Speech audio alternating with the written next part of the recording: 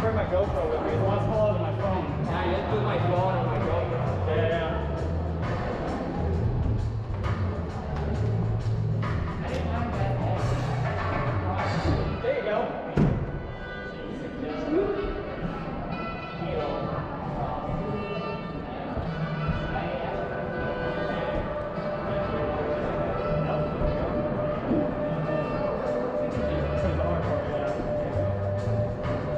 Nailed it.